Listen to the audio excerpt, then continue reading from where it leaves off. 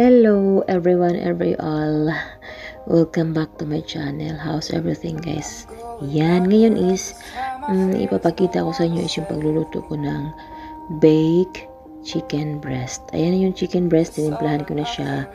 Lagyan ko siya ng kunting-kunting salt, seasoning granules, um, black pepper powder, and then a little bit of sugar and tomato paste. Tapos, lagay ko siya sa frying ano ba tawag nito?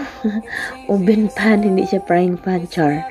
Tapos, uh, first is chicken, yung slice ko siya ng manipis, and then lagyan ko siya ng cheese, and then sliced na uh, potato.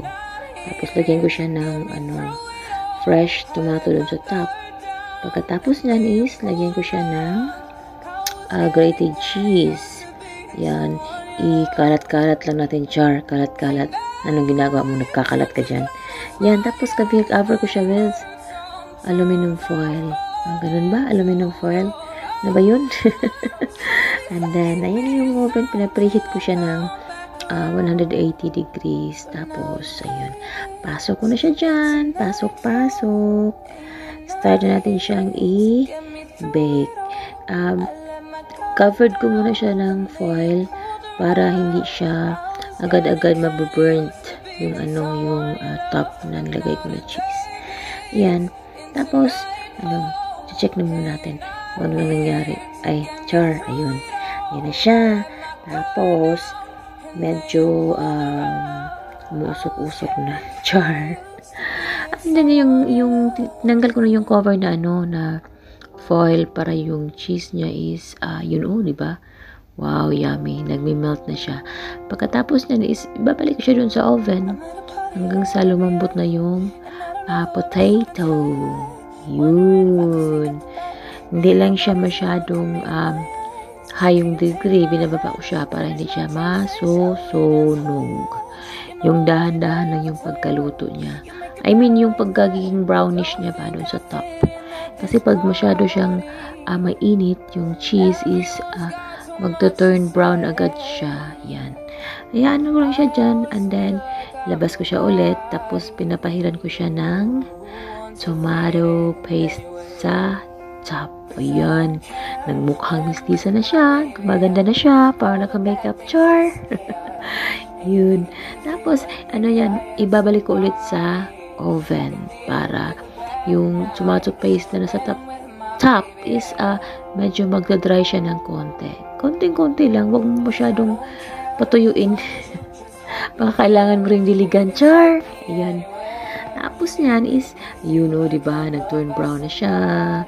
Very yummy, look so yummy. Tapos may konti-konti siyang sauce.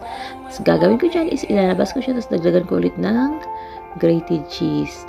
After that is, hindi ko na siya ipapasok dun sa oven. Kasi, finished product na siya. Char! Finished product. Ayun, nagdaga ng maraming cheese dun sa top para mas maging masarap. Kasing sarap ko yan, char. Yun, you know. Amoy pa lang is ulam na. Pwede mo siyang kainin together with plain white rice or depende sa'yo. Pwede mo rin siyang kainin together with bread. Yun. Nasa sa'yo na yan kung paano mo siya kakainin. Siyempre, nguyain.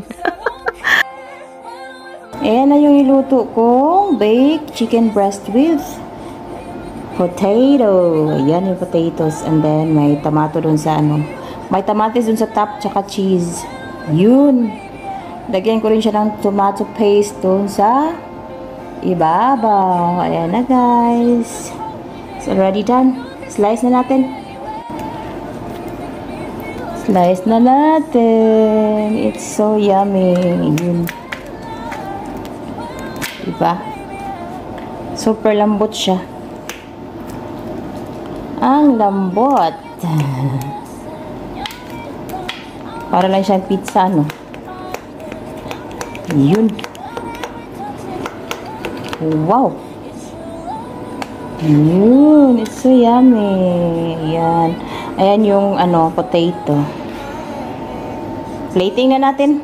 Siya. It's so yummy. Oh, di ba?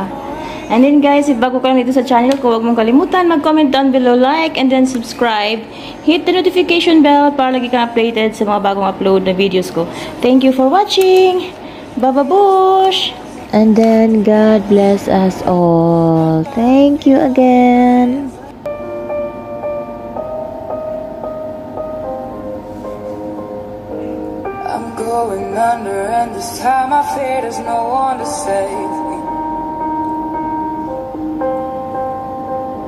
This all or nothing really got a way of driving me crazy. I need somebody to heal, somebody to know, somebody to have, somebody to hold. It's easy to say, but it's never the same. I guess the kind